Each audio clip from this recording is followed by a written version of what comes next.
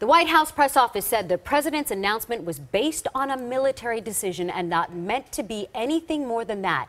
President Trump made the decision two days ago. Later, he informed Defense Secretary Jim Mattis, who was on vacation, that the president uh, announced it to the world after that. He reasoned that the military could no longer be burdened by the disruption caused by transgender troops. All right, uh, here's more than just an interested observer to this. Retired Staff Sergeant Shane Ortega is with us, a transgender man who served in the Army's 25th Infantry Division.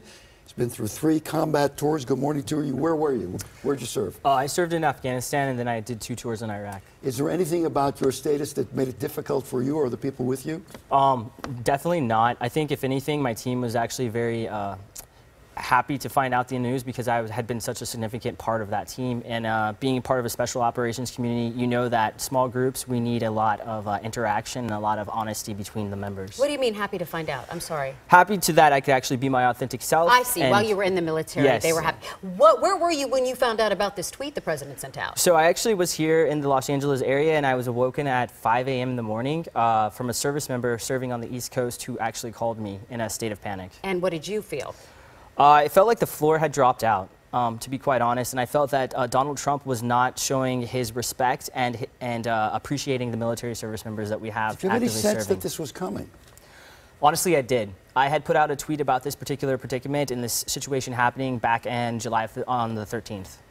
Um, the, he's saying it's the, the generals, that he's taking advice from the generals. Is there anything that you believe that that is the overwhelming or prevailing theory in the military? Absolutely not. If Donald Trump was taking the advice of the generals that are acting uh, right now in the DoD capacity, he would have read the RAND report and he would have read the Williams Institution report, which were both commissioned by the United States military to inform them on the implementation process for transgender troops and the actual fiscal costs. I don't know if you can answer this. Uh, the RAND report says, I can't remember, between 1,500 and 6,000 transgender people in the Army. I think they uh, say 2,300. The, the, uh, yes, the baseline. Mm -hmm. Nobody really knows the answer. Williams says 15,000. That's a big difference. Have you any sense? Did you run across a lot of people like that?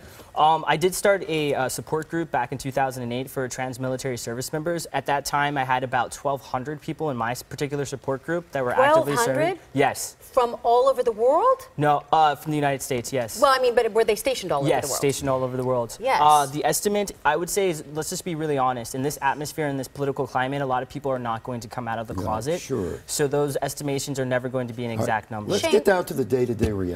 There are a lot of people who uh, are, are uncomfortable, unused to. Not bad people, they're just not used to this. this oh, no, they're not bad people. Yet change for them to adjust to, to you, for instance. What is that process like? I mean, let's just be quite clear. It's a shock and awe from somebody who could go from a smooth face to having a beard. Yeah. Uh, we all need a slight adjustment period. But I think at the core of our humanity, if we are in a foxhole together and we are both taking the time to risk our lives to be shot at together, that we will come to some sort of do, compromise. Do Did you know? transition while you were in the military? Yes, yes, okay, actively so you, serving. You went in, and how long before you were in did you uh, transition? So I began my transition in 2009, and I was retired uh, this last July of 2016. And, you, and, any bad moments? Yeah. Uh, the only bad moments were honestly at the end of my uh, military service, where it became a political, bureaucratic issue, mm -hmm. where I would say the government was trying to police my gender. But within my actual unit, all of my leadership gave me exemplary uh, marks, and uh, I had been a top performer. Did, Did you have to go? To, I'm sorry, Liz. Did you have to go to an extra step to let them know that you had their back? Uh, I've kind of always been an overachiever and an athlete, so I wouldn't say anything more than I already had uh -huh. in my bag of tricks, I guess you could say. But uh, I did have to ensure the confidence of my chain of command when talking to the government and talking to news uh, stations and things like that about the capacity of trying to push this legislation. I mean, let's just be quite clear.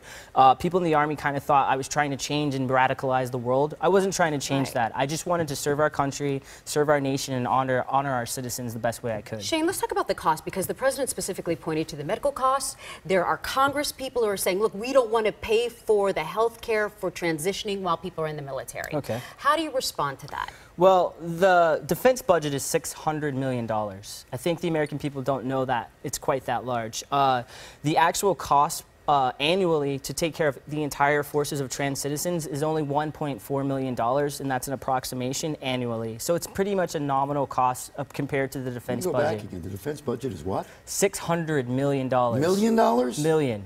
You're way low. Oh, okay. yeah. Sorry, It's that's gotta the be last report. low. It's yeah, gotta be that's way the last low. report I saw proposed Uh, to the when we've heard they spend $400 on a hammer, Yeah, we, no, no, we're, that- we're, we're, They Yeah. do. We do. We do. It's- We'll- we'll, go uh, back you know- and, and, and check those numbers. I mean, the, nu- it, it's way higher than that. But apparently, it's one tenth of one percent goes toward treatment for transgenders. Yes. So one tenth of one percent, and that means like hormone therapy. So testosterone shots is something that I have to take. That's something that's given to regular uh, service members who have maybe complications with you know low testosterone levels and things like that. That's a that's a normal medication that's. How much you spend on Viagra? How much do they spend on my I Seriously. think We- we have five times as much. They spend Yeah. five times the cost that it takes for me to take a testosterone shot on Viagra for the average service member. So is this a pragmatic or a cultural issue? Do you think? I think it's a, a, a a cultural issue. Mm-hmm. It's, it's, it's lack of exposure. Let's just be quite frank. I mean, the average person may or may not have met a trans person who might have disclosed their status to them. But for the last 23 years, if you have been in the United States military, you have worked with a trans or LGBT ally because we have all of our major allies in all the foreign countries who have LGBT inclusive policies. Well, listen. Thank you very much, Shane, Shane, Ortega, thanks. for coming oh, by. Oh, absolutely. Thanks for Thank you for in. having me. I appreciate Yeah. it. Our pleasure.